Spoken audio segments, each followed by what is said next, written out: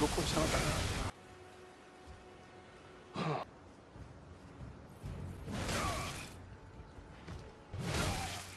落ちた。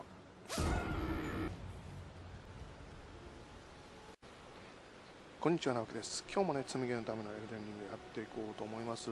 で今日はねここの場所に今いるんだけどもここはもう先日ね開けてもらった場所です。でここに侵入者っていうのがいるのでまあこっちルートでもいいしこっちルートでもいいのでとりあえず北に行きます。はい。ということで、えーと、北に合わせていていただいてでそのまま走ってもらうと。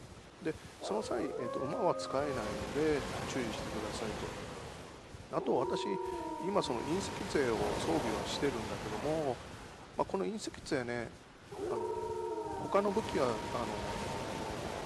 強化できるんだけどこれについては強化がどうやらできないようなのよ。ほらほらほらこれで勝手に今あの降りたからね。じゃあここなんかどうなのかなって死んだんだけどさとりあえず考える、うん、ところをいろいろちょっと行ってみようかなと思ってたわけですよ。ここで死んだんだけどさ落ちて死んだんだけどさうんこの敵が落ちて死ななければよしよしよしよしよしよし。いい感じじゃね？ダメだこっちまでいけないのか。よ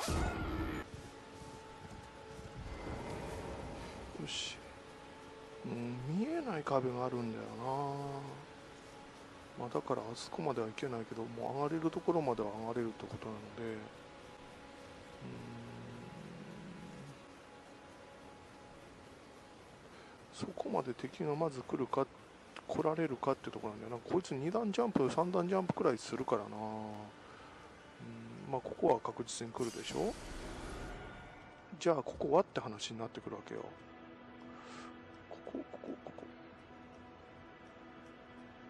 ほらほらほらこれ見えない壁みたいなのがあってさいけないんだよね実質。あ来るか？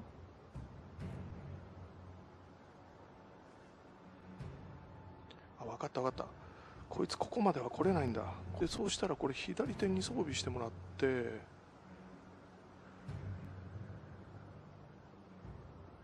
で岩石弾撃ったらどどうなる？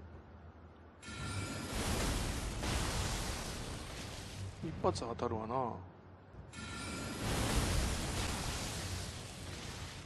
あもうこれ決定だ。決定だ。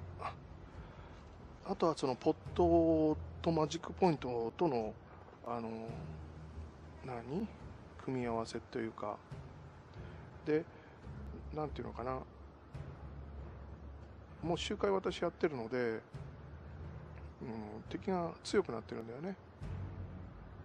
なのでえっ、ー、とでヘチョイ杖持ってるので多分初見の皆さんとやるのとほぼ似たような状況になってんじゃないのかなと思うんだけどあれ消えちゃったよ。それはない。こっちに消えたってこと？お来た来た来た来た来た。来たやっべえよやっべえよ。でもこっちまで来ないっていうのはもう分かったので。あ死んだ。OK 落ちて死ぬんだ。はいと。いうことでこれが多分ねどなたも多分動画作ってないんじゃないかな。私相当いろんなところであの試したからね。はいそういうわけでちょっと落ちて死ぬど、うん、崖から落ちて死んだのかな。それともどっかはまって死んだのかな。これがおそらく、えっと、一番あの楽な倒し方でしょうね。うん。はい。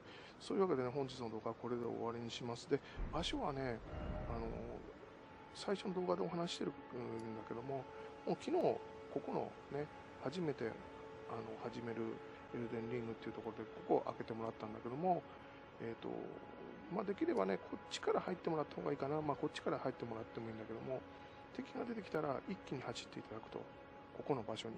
でここの場所をさっきも動画にしたんだけどもここ見えない。びっくりした。見えないかがってさあの死ぬのよ。